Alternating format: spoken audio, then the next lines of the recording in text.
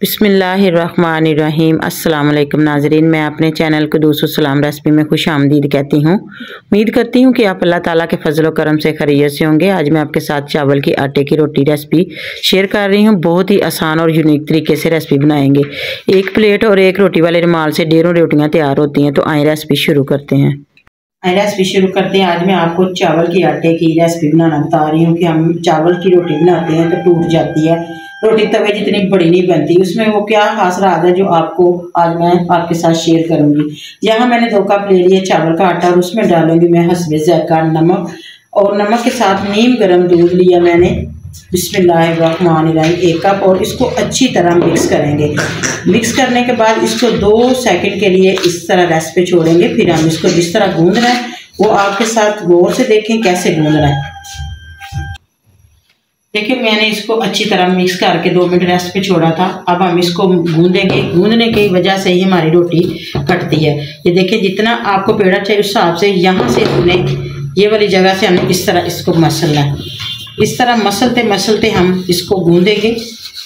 इस तरह इकट्ठा करते जाएँगे और गूंदते जाएँगे। ये जग जान हो जाएगा तो रोटी देखना मैं आपके सामने ही बनाऊँगी। इतनी माशाल्लाह बड़ी और क्रिस्पी रोटी बनती है।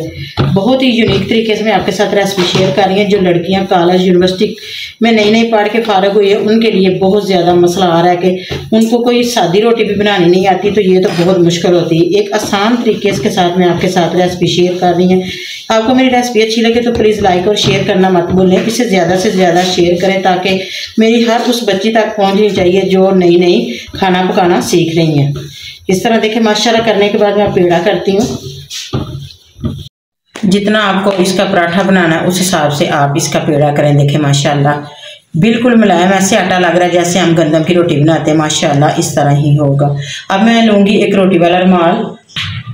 रोटी वाले रुमाल पे थोड़ा सा स्प्रिंकल करेंगे नीचे चावलों का आटा, क्योंकि हम चावलों की रोटी बना रहे हैं, इसके ऊपर रखेंगे ये वाला हमने जो पेड़ा लिया है। यहाँ नीचे लगाऊँगी मैं खुशक आटा, यहाँ और इसके ऊपर थोड़ा सा हम लगाएँगे घी, जितना क्रिस्पी पराठा आपको पसंद है।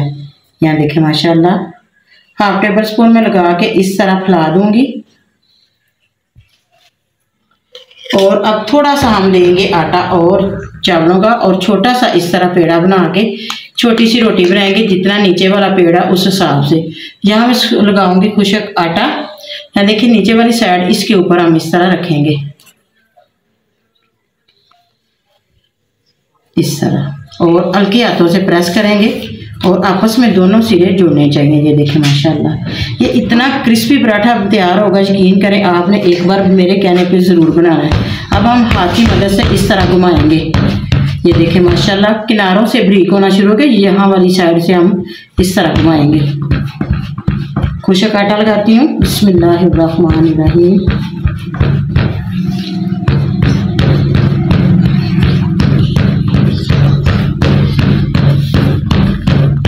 देखें इस तरह बड़ा करते जाएँगे हम फिर कुछ मैदा लगा ले आटा लगा लेते हैं। और ये देखें, माशाल्लाह। अब हमने इसको तवे पे कैसे डालना है, ये देखें, माशाल्लाह। एक लूँगी मैं, कोई छाबा भी आप ले सकते हैं, कुछ सादी प्लेट भी ले सकते हैं, जो भी आपके पास अवेलेबल हो। ये देखिए माशाल्लाह, ना तो इसके किनारे फटे, ना हमें मेहनत करनी पड़ी है। बहुत ही आसान और यूनिक तरीके से बनाना बता रही हूँ। अब हम इसको उठा के तवे पे डालते हैं वो स्टेप गौर से देखें। अब मैंने एक चावलों वाली आम रोटीन में जो इस्तेमाल प्लेट होती है, वो ले ली है। वो इसके अंदर हम इस तरह रखेंगे, देखिए, माशाल्लाह। प्लेट मैंने उठा ली है और पोना हमने रोटी वाला रुमाल इस तरह पकड़ लिया है। यहाँ देखिए, माशाल्लाह, नज़र नहीं आ रहा, बिल्कुल नीचे से हमने अच्छी तरह दबा लिया है। तवा गर्म हो चुका है ग्रीस कर लेती हूँ।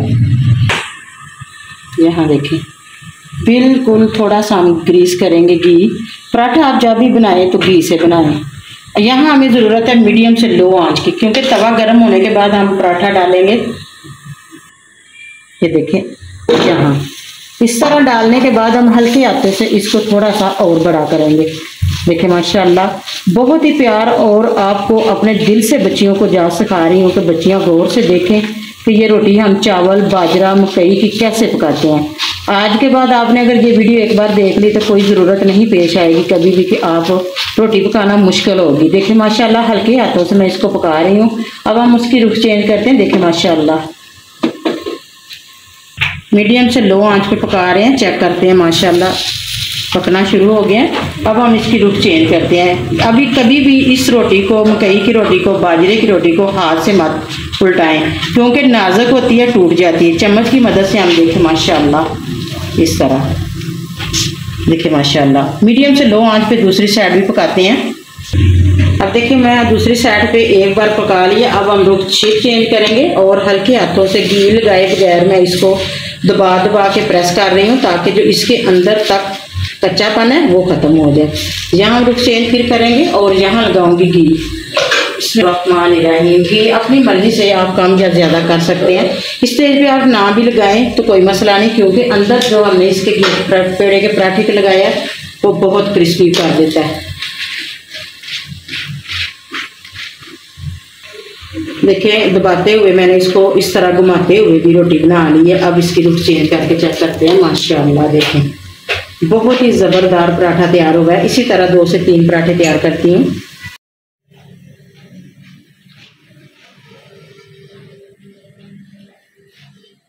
तो यहाँ देखें माशाल्लाह, तीन पराठे मैंने तैयार कर लिए हैं।